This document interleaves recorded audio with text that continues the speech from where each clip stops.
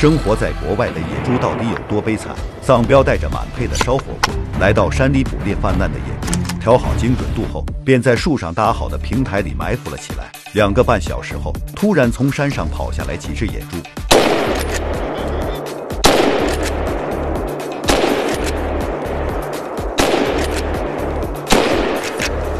一顿操作后，野猪倒地不起。换一个视角再看一遍。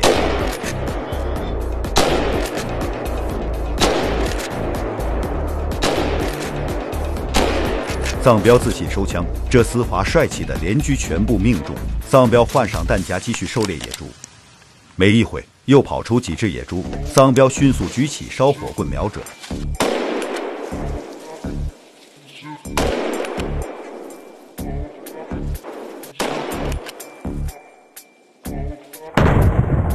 几颗花生米射出，又消灭掉四只野猪。第二天凌晨，丧彪继续来到山里寻找野猪。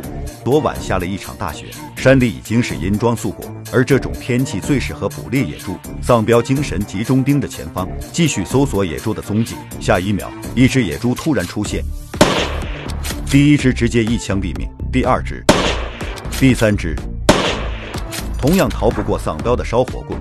丧彪也是得意的微微一笑，不得不说，丧彪这枪法真的是挺准。紧接着，又在林中发现几只野猪的踪迹，丧彪屏住呼吸，瞄准过点，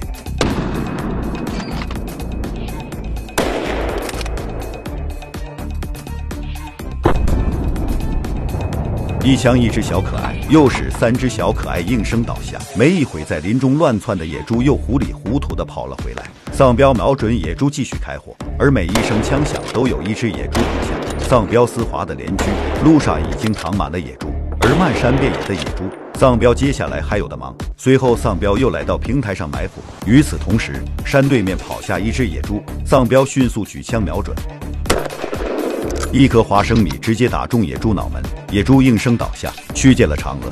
丧彪不愧是老猎人，出枪毙命中。